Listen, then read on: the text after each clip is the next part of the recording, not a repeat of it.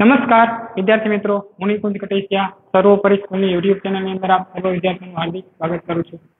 તો વિદ્યાર્થી મિત્રો, આપણે છેલ્લા ભાગમાં, એટલે કે ભાગ નંબર ચારની અંદર ચેપ્ટર નંબર ત્રણ, કેટલા ચોરસ તેની ચર્ચા કરતા હતા. હવે જ્યાં પહોંચ્યા હતા, એથી આગળ વધીએ, તો આપણને કંઈક એવું કહેવા માંગેલું છે કે પાંચ ચોરસનો કોયડો એટલે કે પાઠ્યપુસ્તકમાં પેજ નંબર ચુમ્માલીસ ઉપર આપણે પહોંચ્યા હતા. તો જેમાં કે છે આપણને પાંચ ચોરસનો કોયડો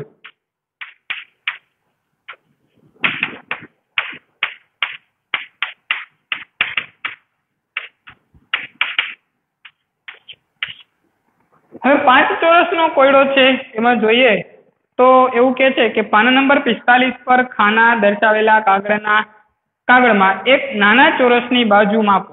આવા પાંચ ચોરસનો ઉપયોગ કરીને તમે કેટલા આકાર બનાવી શકો તેટલા બનાવો. ત્રણ આકાર તમારા માટે દોરેલા છે.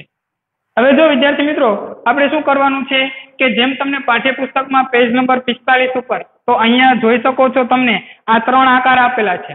ત્રણેયમાં પાંચ ચોરસનો જ ઉપયોગ કરેલો છે. કેટલા? પાંચ ચોરસ જ છે.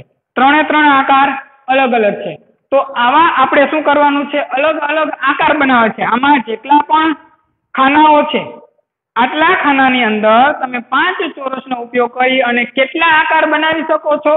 અને હા, બધા વચ્ચે થોડી ઘણી જગ્યા હોવી જોઈએ. આ ખાસ ધ્યાન રાખવાનું. કોઈ, કોઈની પણ બાજુઓ છે, એકબીજાને અડતી હોવી જોઈએ નહીં. એ પણ ધ્યાન રાખવાનું છે. તો આવા તમે કેટલા આકાર બનાવી શકો છો એ તમારે ત્યાં કહેવાનું છે.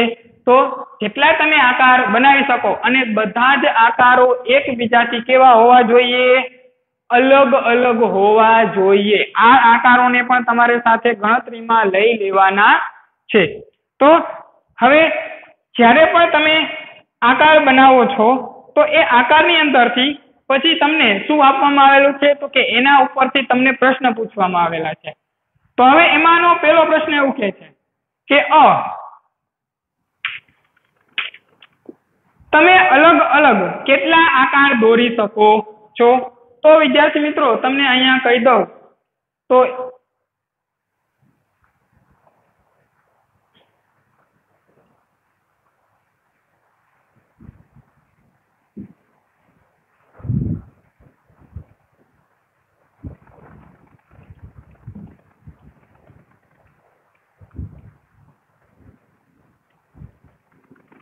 તો અહીંયા કણે આપણે અલગ અલગ કોઈ વિદ્યાર્થી કહેશે કે હું બાર આકાર દોરી શકું છું. કોઈ વિદ્યાર્થી કહેશે કે હું તેર આકાર દોરી શકું છું. પછી એ તો જેની જેવી આવડત. પણ તમે મેક્સિમમ તમને એમ કહી શકું કે તમે આવા કેટલા? તો કે બાર આકાર છે દોરી શકો છો.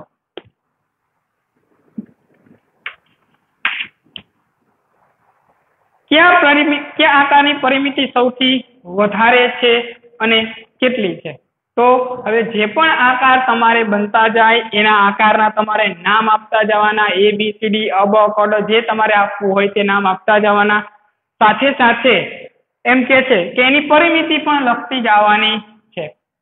તો આપણે એવું લખશું કે એ આકાર છે. એ આકારમાં હું જોઉં તો મારે જે આકારની પરિમિતિ મોટી થાય છે, એને નામ હું એ આપું છું. અને એ આકાર હશે, એની પરિમિતિ હું માપું, તો એની પરિમિતિ મને કેટલી મળે છે? તો કે બાર સેમી મળે, કેટલી મળે છે? બાર સેમી મળે છે. ક પ્રશ્ન એવો કે છે, કયા આકારની પરિમિતિ સૌથી ઓછી છે અને કેટલી છે? હવે જે તમને આકારો મળે છે, એમાંથી કયા આકારની પરિમિતિ સૌથી ઓછી છે અને એ કેટલી છે એ તમારે નામ આપવાનું છે. તો હું એમ કહું કે જે મને આકાર મળે છે એમાંથી ડી આકાર છે. એની પરિમિતિ મારા માટે સૌથી ઓછી છે અને સૌથી ઓછામાં ઓછી પરિમિતિ મારા માટે કેટલી હશે તો કે દસ સેમી હશે. પછી ડ આપેલ આકારનું ક્ષેત્રફળ કેટલું છે? હવે વિદ્યાર્થી મિત્રો, તમને અગાઉ જ કહી દીધું છે કેટલા ચોરસનો ઉપયોગ કરવાનો છે? તો કે પાંચ ચોરસનો ઉપયોગ કરવાનો છે. તો જેટલા ચોરસ, એટલી એની એનું ક્ષેત્રફળ થાય. તો આપણે અહીંયા ચોખ્ખું આપણને કહી દઈશું, એટલે સીધો જ આપણને મળી જાય છે જેમાં પાંચ ચોરસ સેમી. તો અહીંયા કણે આપણને ક્ષેત્રફળ મળે છે દરેક આકારનું પાંચ ચોરસ સેમી. તો હવે એનાથી આગળ વધીએ. તો આગળ પેજ નંબર છેતાલીસ. તમે પાંચ ચોરસની મદદથી બધા આકારો મેળવ્યા. હવે આ બધા બાર આકારો એવી રીતે ગોઠવ્યા છે કે એક, જે એક લંબચોરસ બનાવે છે. આ એક દસ બાય સોળ નો લંબચોરસ છે. કેમ કે તેમાં દસ હાર અને છ સ્તંભ છે.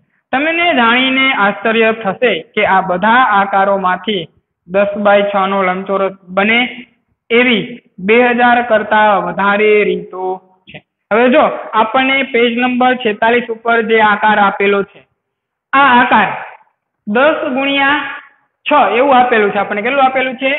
તો કે દસ ગુણ્યા છ. હવે આ દસ છે, એ દસ નો મતલબ તો કે આદિ હાર. કેટલી છે? દસ આપેલી છે આપણને. દસ. અને ઊભા સ્તંભની વાત કરીએ તો ઊભા સ્તંભમાં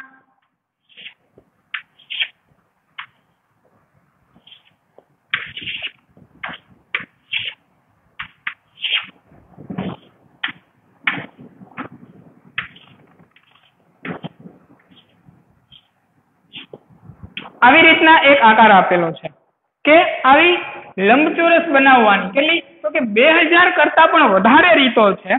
હવે આપણને કહે છે, આ બધા બાર આકારોને કાર્ડ શીટ પર દોરી તેને કાપી લો. આ બાર આકારોને બીજી અન્ય રીતે ગોઠવવાનો પ્રયત્ન કરો કે જેથી દસ બાય સોળ નો લંબચોરસ બને. તમે આવું કરી શક્યા. હવે જો તમારે શું કરવાનું છે કે આ જે આકારો આપેલા છે, આ આકારો તમારે તમારી જાતે તમારા એક પાઠ્યપુસ્તકની પેજમાં એને શું કરી લેવાના, દોરી લેવાના છે. પછી એ આકારોને, જ્યાં જ્યાં રંગ પૂરેલા છે, એ રંગ પ્રમાણે એ આકારોને તમારે કાપી લેવાના અને ફરી પાછી તમારે એની ગોઠવણી કરવાની છે અને એ ગોઠવણીમાં રીત છે એ કઈ હોવી જોઈએ? અલગ અલગ હોવી જોઈએ. એટલે જેમ તમે તમારા મોબાઈલની અંદર એક ગેમ રમતા હો કે આવા અલગ અલગ આકારોને ગોઠવવાના કે જેથી કરીને શું થાય, એક ચોરસ બને, લંબચોરસ બને, એવો આકાર તમે બનાવતા હો છો. તો એવો જ આકાર તમારે અહીંયા રમત રમવાની છે. તો હવે અહીંયા આપણને બીજો કોયડો ઉકેલો છે કે તમારે આ બધા બાર આકારોથી પાંચ બાય બાર નો લંબચોરસ બનાવવાનો છે. પાંચ બાય બાર એટલે કે શું કે છે? તો કે પાંચ છે. એ શું થવો જોઈએ?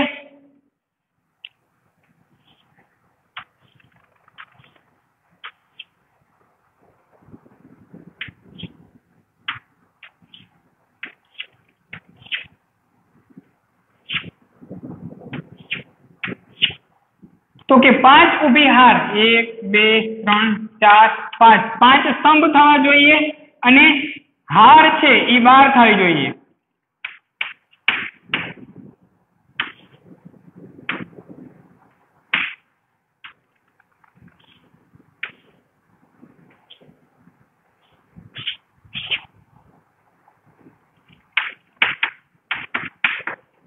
અને બાર હાર થવી જોઈએ. આવો એક તમારે શું બનાવવાનું છે?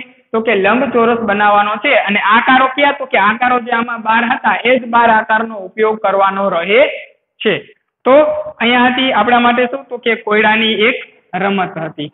હવે, તો કે હવે વિદ્યાર્થી મિત્રો, આપણે આગળ જોવાનું છે કે આપણને આકાર આપેલો હોય.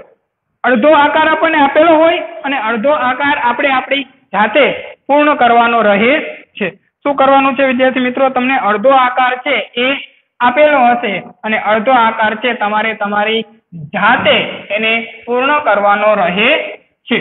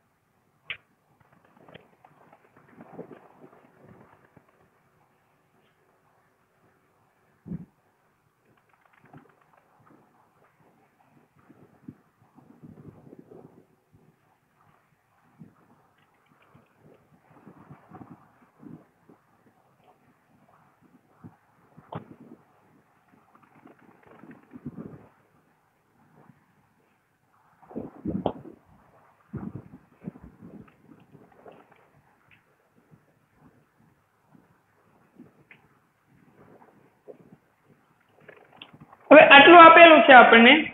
અને પ્રશ્ન એવો કે છે,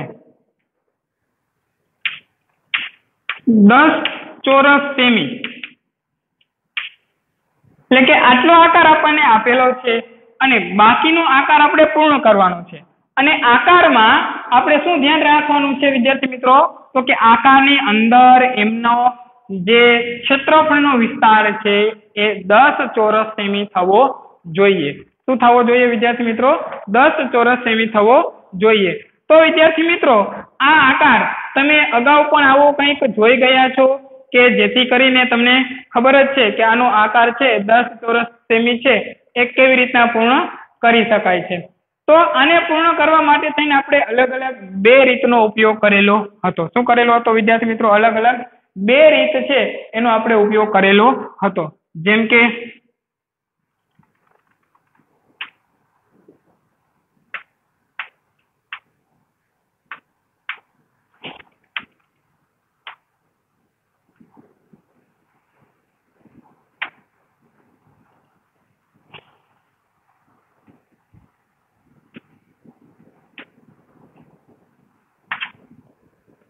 તો અહીંયા કણે આપણે જોઈ શકીએ છીએ કે એક, બે, ત્રણ, ચાર ચાર છે એ શું છે? તો કે ક્ષેત્રફળ શોધવા માટે થઈને આપણે જોઈએ. તો ચાર આકાર છે એ કેવા છે? પૂર્ણ છે. પૂરા ખાનાઓ કેટલા છે? ચાર છે. પછી એનાથી આગળ વધીએ તો અડધા ખાનાઓ એક, બે, ત્રણ, ચાર, પાંચ, છ. છ કેવા છે? તો કે અડધા છે. હવે અડધાથી વધારે હોય એવા તો કે એક અને બે. બે કેવા છે તો કે અડધાથી વધારે છે. તો હવે અહીંયા કણે તમે ગણતરી કરો. તો તમને જવાબ મળે છે ચાર વત્તા આના ભાગાકાર કરો એટલે અહીંયા ત્રણ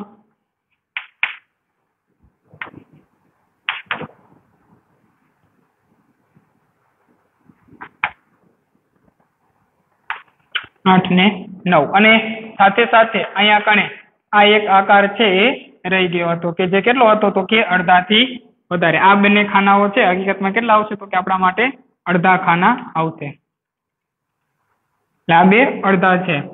સાથે સાથે અડધા ખાનાઓની પણ આપણે ગણતરી કરવાની હતી. એટલે અહીંયા અડધા ખાનાઓ છે. કેટલા આવશે તો કે આઠ. અહીંયા થઈ જાય ચાર. ચાર. ચાર ને ચાર, આઠ ને બે, દસ. દસ ચોરસ સેમી. તો આપણે અડધો આકાર છે, શું કરવાનો છે વિદ્યાર્થી મિત્રો? પૂર્ણ કરવાનો છે.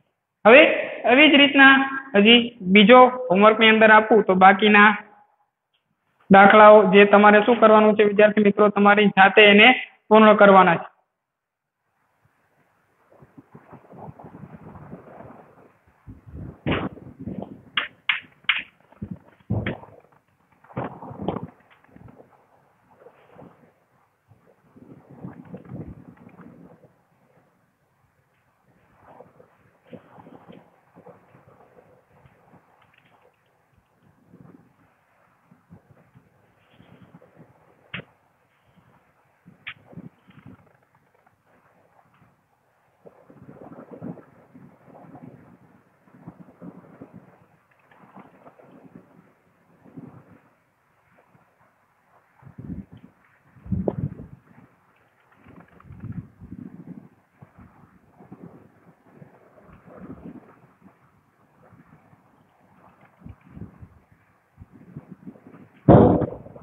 આટલો આકાર આપેલો છે અને સાથે તમારે શું બનાવવાનું છે તો કે ચાર ચોરસ સેમી. યાદ રાખવાનું છે વિદ્યાર્થી મિત્રો, કેટલું થવું જોઈએ? ચાર ચોરસ સેમી ક્ષેત્રફળ એમનું થવું જોઈએ. એથી વધારે થવું જોઈએ નય. હવે એનાથી આગળ એક ત્રીજો આકાર આપેલો છે.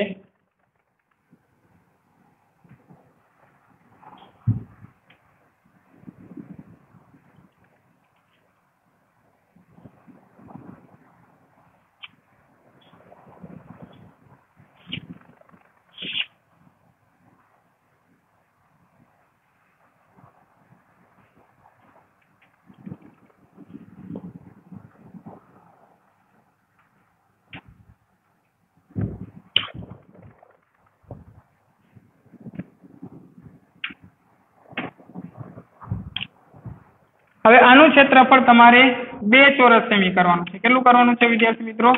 બે ચોરસ સેમી. કે આનું ક્ષેત્રફળ છે એ બે ચોરસ સેમી થાય એવો આકાર તમારે આની અંદર તૈયાર કરવાનો છે. તો આ ભાગની અંદર આપણું આ હોમવર્ક અને આ દાખલા હતા. હવે આપણે જોશું આના નેક્સ્ટ લેક્ચરની અંદર